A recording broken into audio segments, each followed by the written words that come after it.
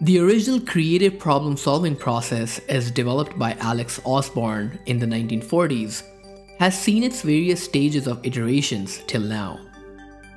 One of its recent form is the thinking skills model, introduced by Professor Gerard Puccio, chair for the Department of Creativity and Change Leadership at SUNY Buffalo State. This model for applying deliberate creative problem solving is not only limited to a classroom or a boardroom. This is a way of living a creative lifestyle. A way to include the practice of creativity in our everyday lives. Now, what does it mean to make creative problem solving part of your life? Creativity is not only limited to the artistic domains. Creativity is how we do what we do in our lives. Creativity is how we deal with challenges that we face daily. Creativity is how we perceive and see certain things and use that perspective in creating something novel and useful. This is where the thinking skills model plays a huge role to bridge the gap between our thoughts and our actions. For the most part, creativity is shown in what we do and how we do it. However, the first step is always the thought process involved before putting in the actions. If we begin thinking creatively, it will become evident in the ideas and solutions we generate to solve our everyday challenges.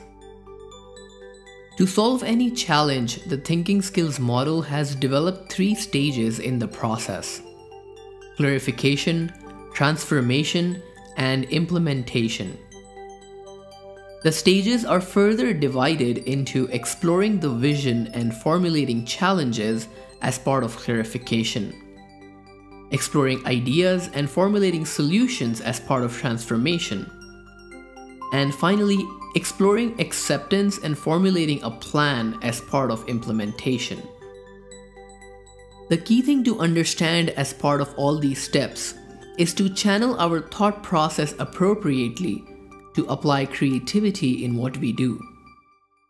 For instance, in a situation where I am unsure what the actual problem is that I'm trying to solve, I am in a clarification stage and need to adopt a divergent thinking mode to generate various problem statements or creative questions to help me clarify the problem at hand. Once I have figured out the problem and also generated a bunch of ideas for how to solve it, I need to switch gears and start thinking convergently while formulating solutions and pick the one to start implementing. The thinking skills model is not just another process to learn, but we need to use it to help develop a mindset of creative problem solving. We face challenges every single day, whether it be work related or in our everyday lives.